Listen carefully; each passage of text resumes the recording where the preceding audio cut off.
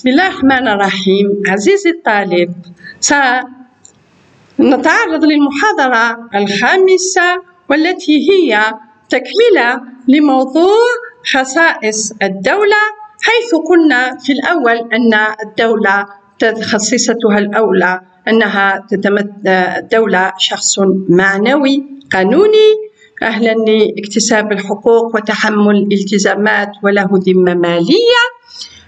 الخصيصة الثانية هي تمتع الدولة بالسيادة لا سوفرينتي إن ما يميز الدولة عن غيرها من التنظيمات والتجمعات ليس فقط أركانها الثلاث الشعب الإقليم وتمتعها بالشخصية المعنوية وإنما تتميز أيضا عن غيرها من التجمعات بتمتعها بالسيادة. فما معنى السيادة؟ إن كلمة السيادة معناه ومشتقة من كلمة لاتينية مع السوبرامور ومعناه الأعلى والسيادة هي السلطة التي لا تحتاج لأي مبرر لإثبات صحة تصرفاتها أي أن الدولة لها السلطة الكاملة للقيام بتصرفاتها فالسيادة إذا هي تلك السلطة العليا التي لا تجد سلطة أعلى منها ولا تجد آه، مساويا أو منافسا لها في السلطة داخل الدولة. كما لا تجد سلطة أعلى منها أيضا على المستوى الخارجي.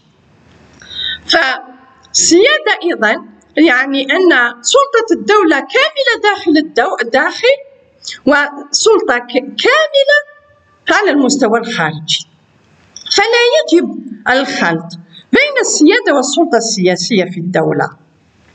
فالسيادة هي صفة من صفات السلطة السياسية التي معناه أن سلطة الدولة هي سلطة عليا وأصلية ووحدة غير قابلة للتجزئة أي أن السيادة لا يمكن أن نجزئ آه، أن نجزئها في الدولة.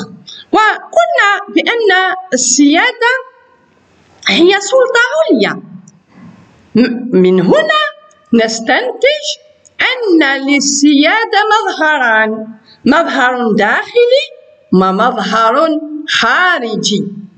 فالسيادة الداخلية معناه أن سلطة الدولة داخل إقليمها هي سلطة مطلقة على سكان الإقليم فلا ينازعها أحد في فرض إرادتها وتنظيم شؤون إقليمها. أما السيادة الخارجية فيقصد بها عدم خضوع الدولة لأية دولة أو سلطة أجنبية وتمتعها بالاستقلال الكامل أمام الدول الأخرى وتعاملها على قدم المساواة في التمتع بالحقوق والالتزامات الدولية. من هنا نتكلم عن دول كاملة السيادة ودول ناقصة السيادة. فالدولة التي لا يمكن لها أن تكون على قدم المساواة في الحقوق والالتزامات مع الدول الأخرى فهي دولة ناقصة السيادة والدولة التي لا يمكن لها أن تقرر شؤونها آه، بكل حرية داخل إقليمها فهي دولة ناقصة السيادة. أما عن مضمون السيادة فنجد أن للسيادة مضمون سلبي ومضمون إيجابي. المضمون السلبي للسيادة يقصد به أن الدولة لا تخضع لسلطة أخرى في الداخل. لا تخضع لسلطة أخرى في الداخل. أما المضمون الإيجابي للسيادة فيتمثل في تمتع الدولة بالسلطة التي تعلو على الجميع في الداخل والتي بمقتضاها تقوم بوضع دستورها وسن قوانينها وتحديد نظام الحكم داخلها إلى آخره دون أي تأثير خارجي أو داخلي. بما أن سلطة الدولة وسلطة ذات السيادة وأن السيادة الدولة على أفرادها على إقليمها وسيادة كاملة ومطلقة. ولهذا نجد أن هناك موضوع يطرح نفسه ومن هو صاحب السيادة في الدولة؟ Le titulaire de la souveraineté dans l'État. إن الدولة تملك السلطة السياسية ذات السيادة فهي صاحبة السيادة ومستقرها. لكن قلنا أن الدولة هي شخص معنوي مجرد وليس شخص مادي. فبالتالي بما أن الدولة شخص معنوي مجرد. إذا تحتاج لأشخاص طبيعيين لممارسة هذه السلطة. لهذا هناك تساؤل عن من هو صاحب الفعل للسيادة في الدولة. بما أن الدولة شخص معنوي مجرد. إذا من هو صاحب الفعل للسيادة داخل الدولة؟ فنجد أن الفقه الدستوري لإجابة عن هذا الموضوع انقسم لقسمين. قسم وتمثل في النظريات الدينية أو التيوقراطية التي تفسر آه، صاحب السيادة تفسيرا دينيا وهناك الجزء الآخر الذي يسمى بنظريات الديمقراطية أتى بتفسير آخر لصاحب السيادة. في الدولة. بالنسبة للنظريات التيوقراطية أو الدينية تتفق هذه النظريات على أن صاحب السيادة هو الله. ولكنها تختلف في تفسيرها لذلك كيف أن الله هو صاحب السيادة في الدولة. ثلاث نظريات تتفق فقط في الطبيعة في شيء وهو أن تفسير أن صاحب السيادة هو الله. لكنها تختلف في ما بعد. النظرية الأولى هي النظرية الطبيعية الإلهية للحكام. يرى أصحاب هذه النظرية أن الحكام آلهة يعيشون وسط البشر. بالتالي يملك الحاكم السيادة المطلقة على رعاياه الذين يخضعون للحاكم خضوعا كاملا دون إبداء أدنى اعتراض. فنجد أن هذه النظرية سادت في الإمبراطورية القديمة كمصر الصين روما إلى آخره مثلا في مصر فرعون كان يعتبر آه، آه، إله يعيش في وسط البشر وبالتالي هو صاحب السيادة ويجب على الأفراد أن يخضعون له خضوعا عمياء. لأن معصيته تعتبر معصية الله. أما النظرية الثانية هي نظرية الحق الإلهي المباشر. تتلخص هذه النظرية في أن الحاكم بشر وليس له طبيعة إلهية. لكن الله هو الذي منح له السلطة لوحده. فالحاكم يستمد سلطاته من الله دون تدخل البشر. لذا يجب طاعته والامتثال لأوامره لأن معصيته تعتبر معصية الله. وهذا ما نظرية جاءت بها الكنيسة المسيحية لتبرير السلطة المطلقة للبابا ولكي كل أفراد الشام يخضعون له خضوعا كاملا أما النظرية الثالثة هي نظرية الحق الإلهي الغير المباشر. هذه النظرية مع تقدم آه، البشرية. جاءت هذه النظرية للقول أن اغتيال الحاكم لا يتم من طرف الله بل من طرف الشعب لكن بإرشاد وتوجيه من إرادة الإلهية. معناه أن الإنسان مسير وليس مخير أن الإرادة الإلهية هي التي وجهت الأفراد لاختيار ذلك الشخص كحاكم عليهم. هذه بصفة مختصرة النظريات الدينية وتفسيرها لصاحب السيادة في الدولة. في مقابل هذه النظريات الدينية نجد النظريات الديمقراطية. فجاءت هذه النظريات الديمقراطية لتقرر أن المحكومين هم صاحب السيادة. خلاف النظريات الدينية التي ترى أن الحكام هم أصحاب السيادة. فهذه النظريات ترجع السيادة للمحكومين أي لأفراد الشعب.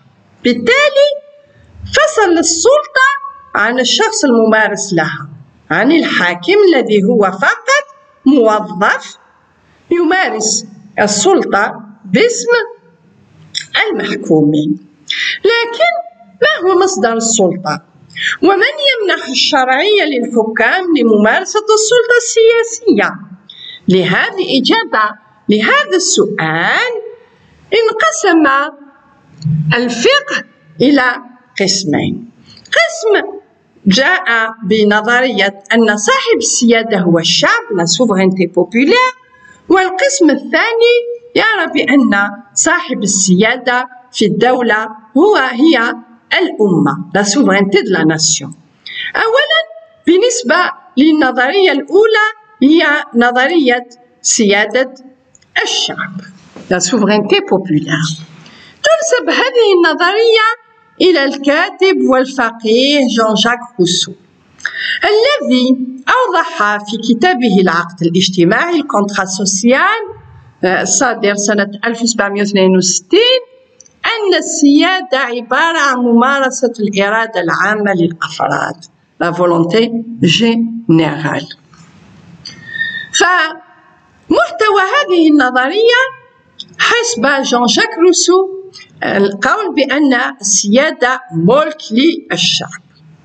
وهذه السيادة هي سيادة مجزأة على كل أفراد الشعب وتتوزع بالتساوي.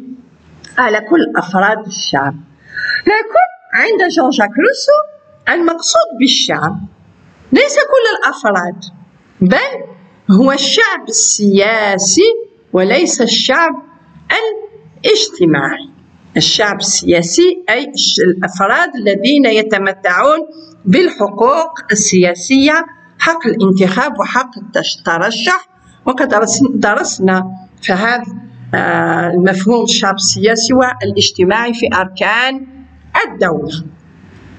فيرى روسو أن لكل فرد جزء من السيادة متساوي مع كل أجزاء الأفراد الأخرى حيث كتب في كتابه العقد الاجتماعي أن لو فرضنا أن الدولة تتكون من عشر ألاف مواطن فإن كل مواطن يمتلك جزءا من عشر ألاف جزء من السلطة ذات السيادة معناه أن كل فرد من أفراد الشعب السياسي له جزء من السيادة يساوي أجزاء الأخرى التي يتمتع بها المواطنون الآخرين. وهذه السيادة بما أنها تجد تعبيرها في الإرادة العامة تجد هذه الإرادة العامة تعبيرها الحقيقي في التشريع أو في القانون. الذي يعتبر هو تجسيد للإرادة العامة. بالتالي فنجد أن جون جاك روسو منح كل مواطن جزء من السيادة مساويا للأجزاء الأفراد الأخرى.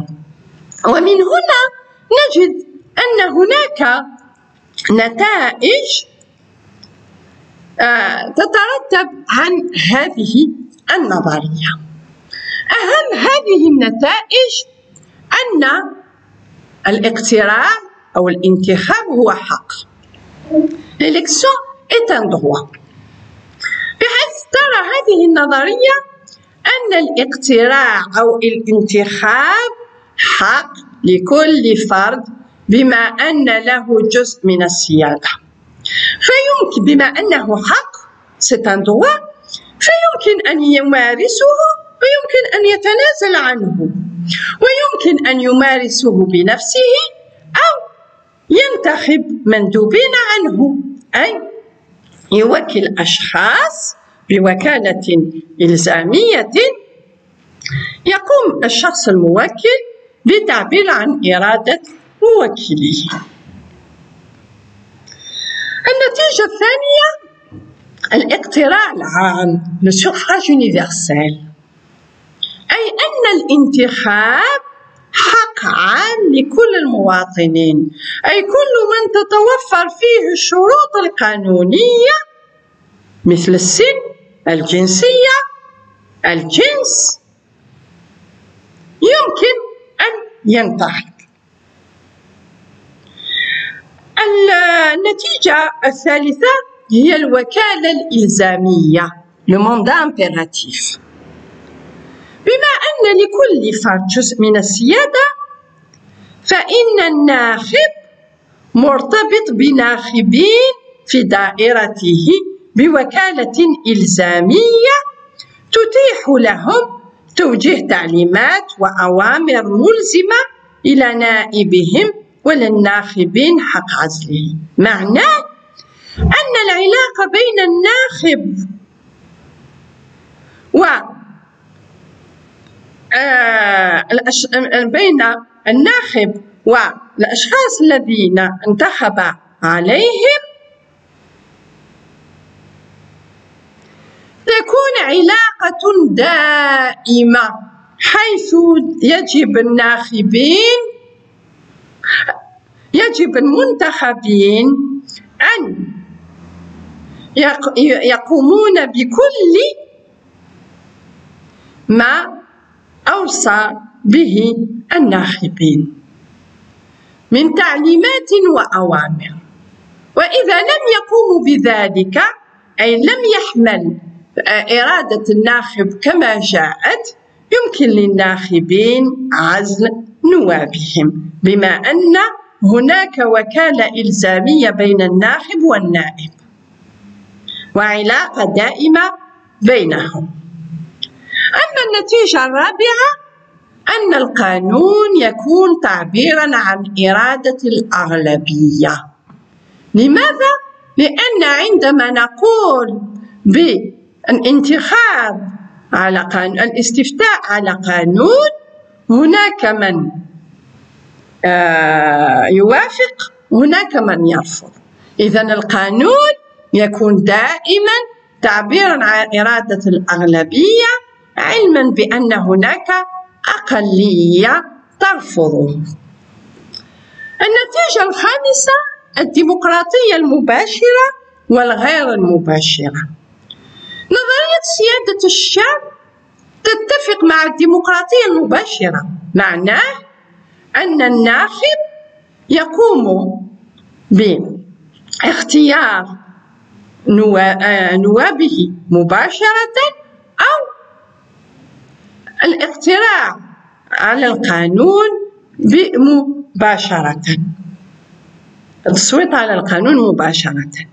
لكن هناك أيضا ديمقراطية شبه مباشرة.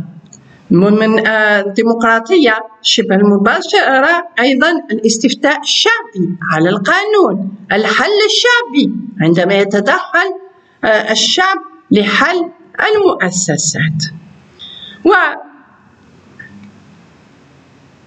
آه، نظرية سيادة الشعب لا تتفق مع الديمقراطية النيابية. أي أين يكون النائب مستقل عن ناخبيه بمجرد انتخابه؟ وهذا ما نجده في الجزء الثاني من الموضوع النظام النيابي في نظرية سيادة الأمة. وذلك يعني أن الشعب بإمكانه صنع الإرادة العامة بنفسه مثل التصويت على القانون أو بصفة غير مباشرة مثل الاستفتاء الشعبي أو الحل الشعبي. لكن انتقدت نظرية سيادة الشعب لأن ارتباط النواب بناخبيهم سيؤدي إلى الأخذ بعين الاعتبار المصالح المحلية أي أن كل أن النواب سيرتبطون أو سيؤدين المصالح المحلية دون المصالح العام للدولة بما أنهم في ارتباط دائم مع ناخبيهم. أما النظرية الثانية التي آه، جاءت في صاحب السيادة في الدولة في نظريات الديمقراطية نجد نظرية سيادة الأمة la souveraineté de la nation هذه النظرية تنسب إلى الفقيه الفرنسي سييس أسسها في كتابه Qu'est-ce que le tiers état الصادر سنة 1789 والتي تعني أن السيادة هي للأمة كشخص معنوي. الأمة كشخص معنوي.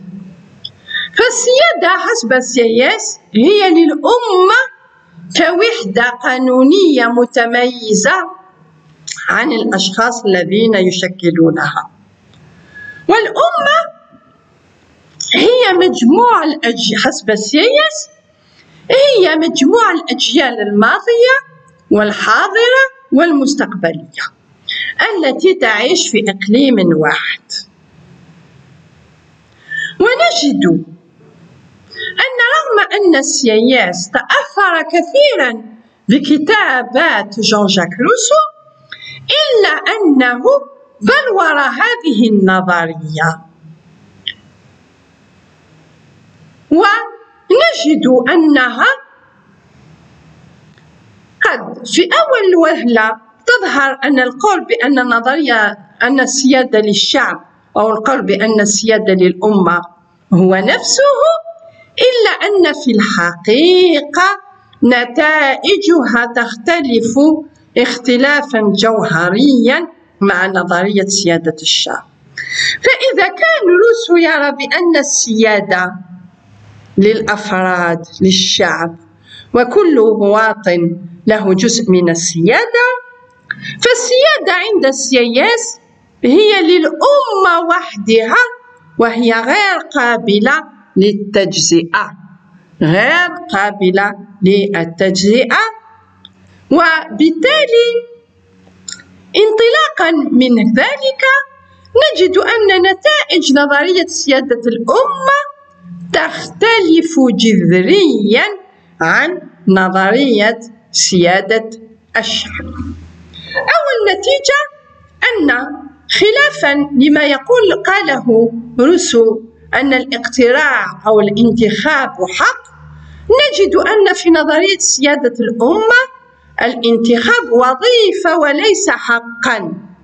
Fonction. فالأمة يمكن أن تحدد الشروط التي يلزم توافرها في هيئة الناخبين. وبالتالي يمكن تقييده كأي وظيفة بما أنه وظيفة c'est une fonction نحن نعلم أن كل الوظائف فيها شروط تحدد هذه الوظيفة. وبالتالي كل شخص لا تتوفر فيه شروط الوظيفة لا يمكن له أن ينتخب. وخلافا أيضا لنظرية سيادة الشعب التي أن فيها أن الانتخاب حق فبما أنه حق يمكن لصاحب الحق أن يقوم به ويمكن أن لا يقوم به. لكن هنا في الانتخاب وظيفة فيجب على كل شخص تتوفر فيه شروط الوظيفة القيام به. وإلا ستكون متابعة لأنه لم يقوم بالوظيفة. إذا هو غير ليس حرا. في القيام به أو عدم القيام به. النتيجة الثانية الاقتراع مقيد. الاقتراع مقيد وهذا خلاف الاقتراع العام. الذي قلنا فيه أن كل من تتوفر فيه الشروط القانونية له حق الانتخاب.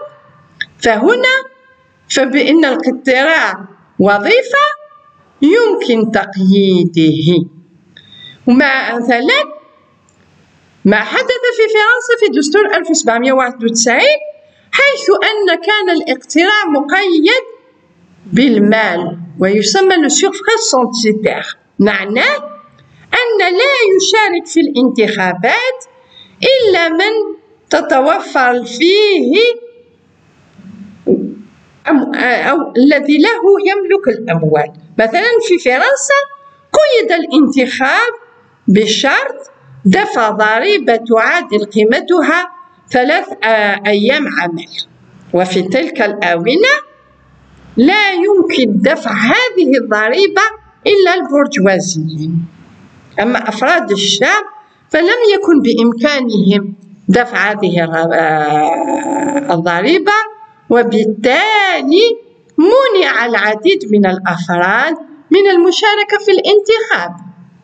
ثم هناك الاقتراع المقيد بالكفاءة وطبق في الولايات المتحدة الأمريكية معناه أن يشترط في في المهام الانتخابية أن يكون في الناخب مستوى من التعليم. وفي تلك المرحلة أفراد الشعب أغلبية أفراد الشعب لم تكن لهم كفاءات آه، علمية.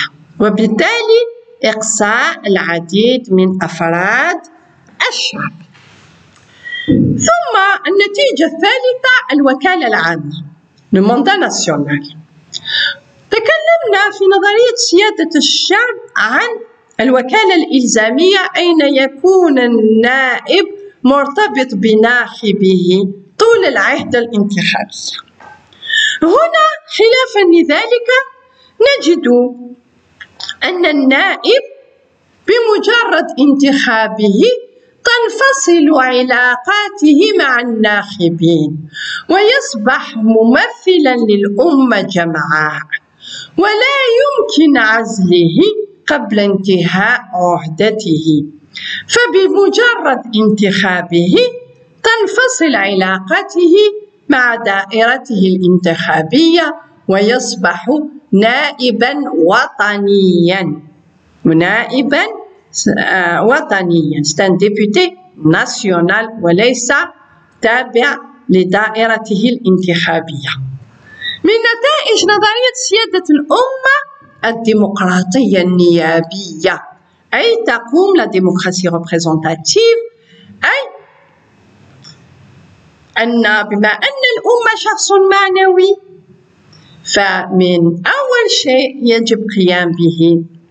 هو وضع الدستور وانتخاب نواب هؤلاء النواب هم الذين يصنعون إرادة الأمة.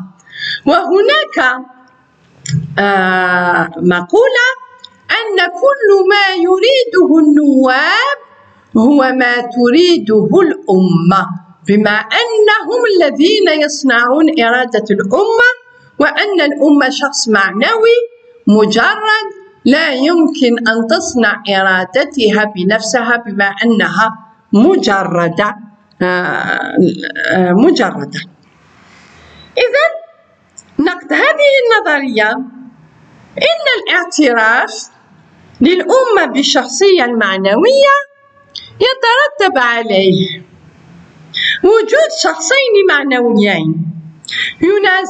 ينازعان السيادة من جهة الدولة التي هي قلنا من آه، أهم خصائصها أنها شخص معنوي ومن جهة أخرى الأمة. إذا داخل هناك يوجد شخصين معنويين ينازعان السيادة الدولة من جهة والأمة من جهة أخرى. لكن بعد تعرضنا لنظرية سيادة الشعب ونظرية سيادة الأمة. نجد أن عندما ذهبت أو في الدساتير الحديثة نجد أنها تأثرت بالنظريتين. فرغم التباين بين نتائج نظرية سيادة الشعب ونظرية سيادة الأمة نجد أن العديد من القوانين العضوية في العديد من الدول, قامت بالتوفيق بين نتائج النظريتين.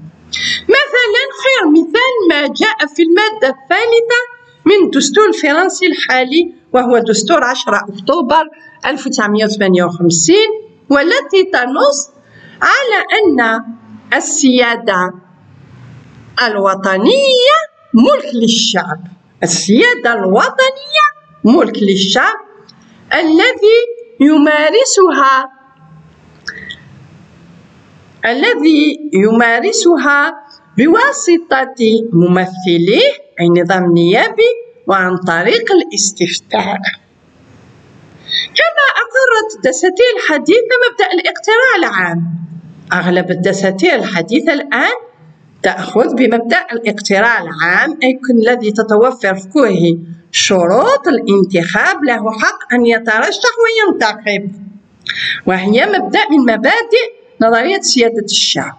وأغلبية الدساتير اعتنقت النيابة الوطنية لو ناسيونال مثل في الجزائر. آه النيابة هي نيابة وطنية. في فرنسا النيابة نيابة وطنية حيث أن النائب في البرلمان بمجرد انتخابه يصبح نائبا وطنيا وليس نائب لدائرته الانتخابية ولا يمكن للناخبين عزله.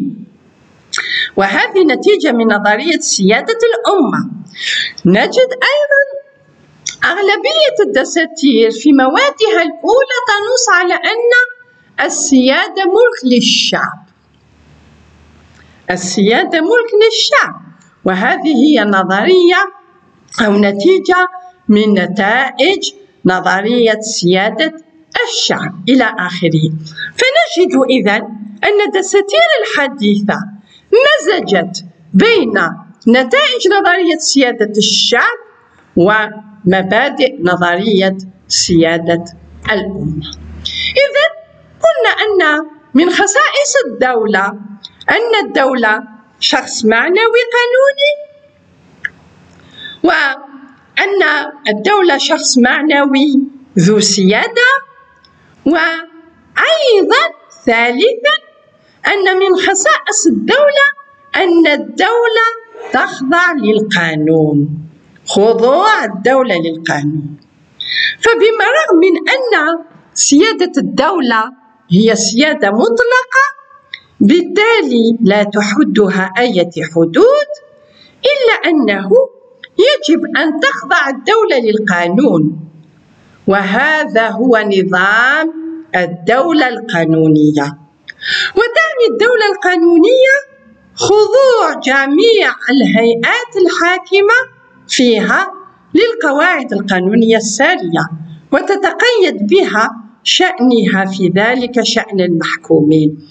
أي أن كل تصرفات الدولة يجب أن تكون مطابقة للقانون. ومن أهم عناصر الدولة القانونية لوجود دستور كما قلنا ويجب أن يكون هناك لكي نحترم مبدأ سمو الدستور الذي يبين حقوق والتزامات الدولة حقوق وحريات الأفراد أن يكون هناك ما يسمى بمبدأ الرقابة على دستورية القوانين حيث أن إذا كان تصرف تصرف غير قانوني فيمكن للمحكمة الدستورية أن تدخل لكي تلغي ذلك القانون الغير الدستوري. بالتالي عزيزي الطالب انتهينا من دراسة المحاضرة الخامسة وموضوع خصائص الدولة. وشكرا.